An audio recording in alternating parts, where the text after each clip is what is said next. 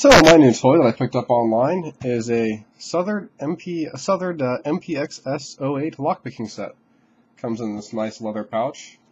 I uh, you know just now starting getting started in lockpicking. I played around with it a tiny bit before, but never actually got around to buying buying a real lockpicking set. I was you know always trying to get things with open with paper clips and prongs of forks and whatnot.